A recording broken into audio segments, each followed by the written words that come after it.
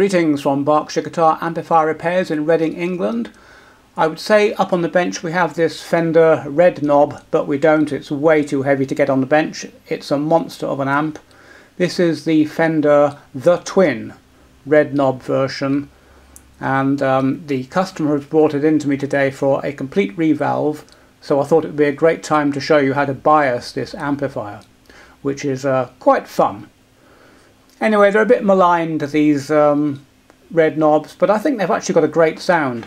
I think it's probably because they've got printed circuit boards in that people don't like them.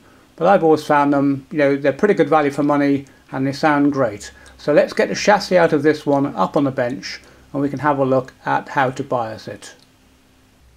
Here we are with the chassis out and I've removed the customer's power tubes which are here um, bit of a mixed bag here. We have uh, a pair of groove tubes and uh, completely different pair here of don't know what these are. What are these? Edychron. That's an, a pair of that's an Edychron 6L6 and this is a different valve completely 6L6 GT I did put these on the meter and they're not at all well matched so I don't know the history behind this set of tubes. Anyway they're going to go and instead I'm fitting a brand new quad of JJ6L6GC. We'll do that in a moment but first of all I want to point out to you on this amplifier the fact that Fender have provided unusually a way of biasing it and we can see that here. We'll be having I'll look at this in a little bit more detail. Um, but there's a place here to measure the bias and, a, and an output bias adjustment pot. And there's a place to balance the balance the two output tubes as well. Um, so we'll be getting into that in a moment but first of all I'll get these new JJ fitted. Um, I think I'll put my two Euro tubes bias probes in here as well just so that we can compare the bias probe method with uh, with this method here where we're going to be putting a voltmeter on the test points. So join me again when I've got that set up. Let me show you the setup now that I've put together. So I've installed a pair of 6L6 GCs, the two outside tubes, and I've brought those back to my two Euro tubes bias meters. I'm also ready with my multimeter on a 200 millivolt scale to measure the biased test points here by putting in my meter into here.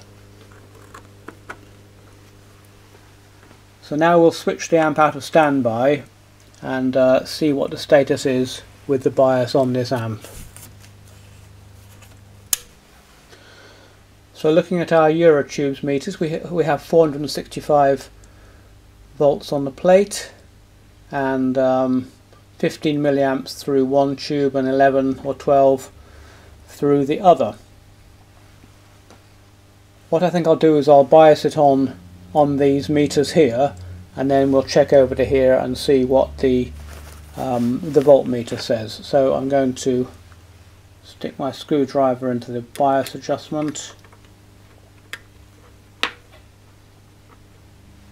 Have a look over here.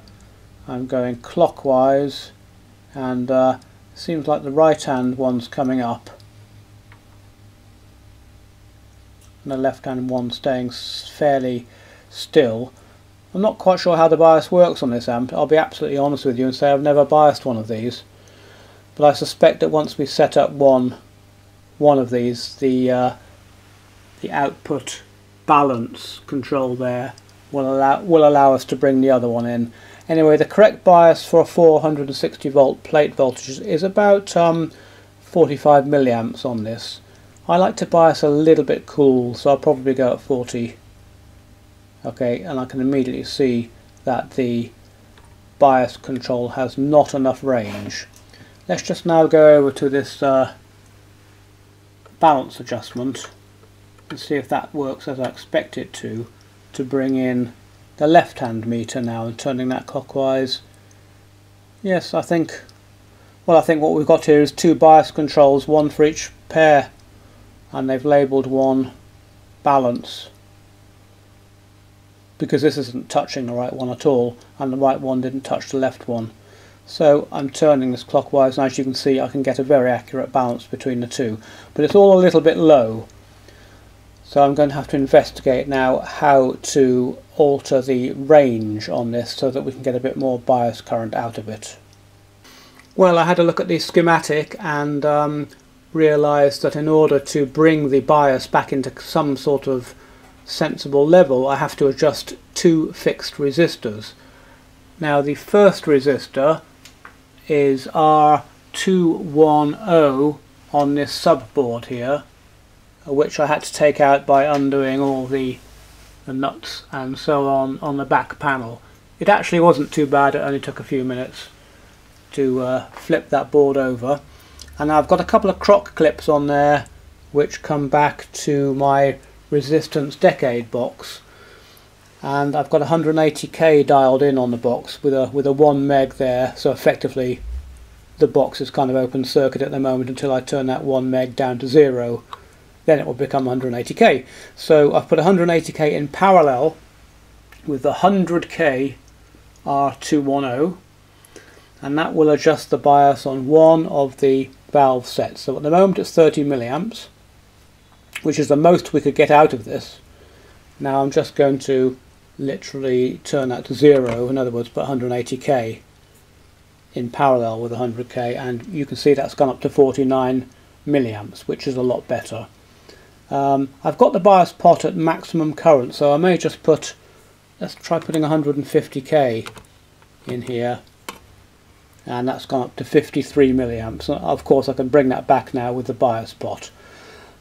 That's that. Now, in order to get the other one to do the same, we're going to have to jumper across another resistor. I'll do that now and then I'll uh, rejoin you and show you which one I've done. Now that I've taken the croc clips off, I just want to point out to you that first resistor, which is this R210 here.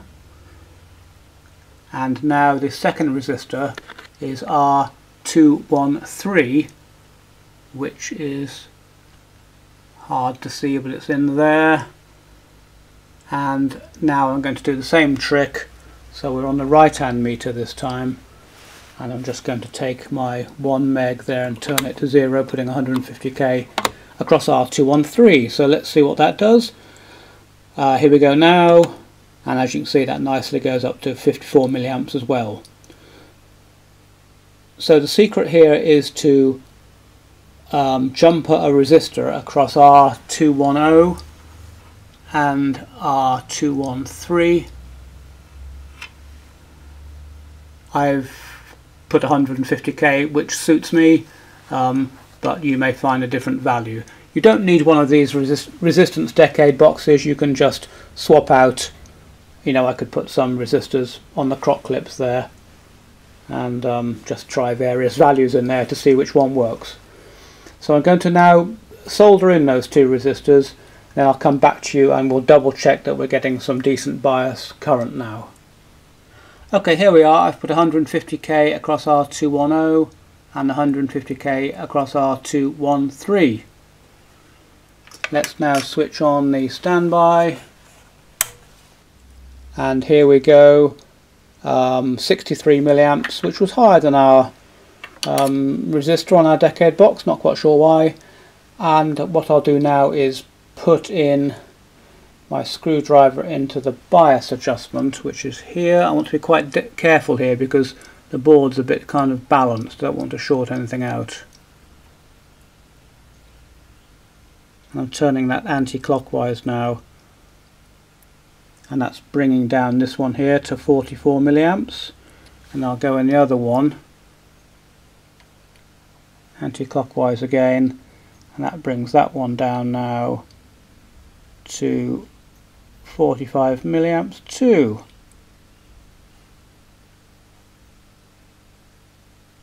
I can get that down a bit more.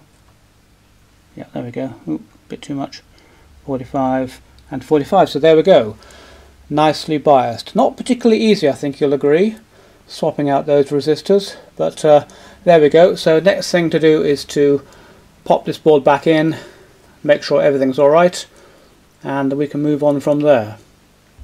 I've put that board back now and having adjusted those two fixed resistors I want to now show you what happens when you try to adjust the bias using a multimeter put into the bias adjustment points at the back. There is the multimeter on the left. So um, there are two places you can put the multimeter. One's called bias, which you can see between the two probes, and the other is called balance, which you can see between the black probe and, uh, and the test point to the right of that. And they are marked rather kind of cryptically, 0 volts on the balance and 0.4 volts on the bias. I think what they want you to do is to put the probes in the balance and adjust the balance until until it gets 0 volts. Anyway, for the moment I've got the bias probes in the bias and you can see that it gives 41 millivolts there. So I'm guessing they're measuring across a 1 ohm resistor and uh, that would be 41 milliamps. Don't forget we've only got one tube in each side. If I were to put two tubes in here I suspect we would get double this current and you would have to divide it by half to get the milliamps per tube. Now I did put the probes into the balance and set it up so that there was 0 volts on the balance. I'll show you that in a moment but look what happens when I do. the tubes become sort of somewhat imbalanced. I mean it's not dramatic but it's 45 versus 39. Um, so let me just show you that. I'll, uh, I'll take the probe out of here and put it into balance which is here. And now you can see we've got you know point we've got nothing we've got 0.3 of a millivolt. That, and that's because I adjusted the balance pot to give me zero volts there which I think they are probably asking you to do. However when you do that you get a slight imbalance in the in the tube. So whatever they've done there is not particularly good I'm going to go, it's good enough, you know, if that's all you had, that's fine. However, I'm going to go back into the balance now and adjust that to get the correct balance on my two euro tube meters. I'm just going a little bit clockwise. Now I reckon they're balanced. Look, they're 44 each. So that's what I call balanced. And just out of interest, Let's go back in on our measuring point here. It's quite hard to do this with one hand and hold the camera. There we go. And you can see, you know, we've got 6 millivolts. We know, again, that's not very much. 6 millivolts, but um, there you go, for what it's worth. Um, that's how you would use the multimeter to to adjust the bias on this amp. Well, there you go, we finally managed to bias that monster. I think you'll agree it was a bit of a mission. I particularly dislike it when you have to take fixed resistors out to change the bias. And it was made doubly difficult on that amp by the fact we had to take the board out and turn it upside down to work on those resistors. But anyway, job done, nicely biased, nice sounding amps I think, and great value for money. So join me again on the next video. Thanks for watching.